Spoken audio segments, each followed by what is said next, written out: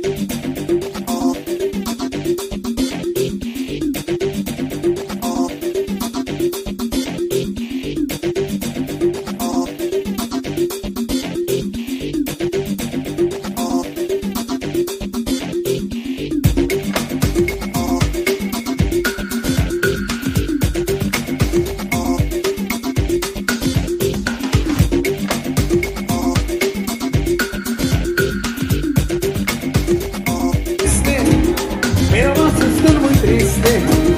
y así te vas a quedar.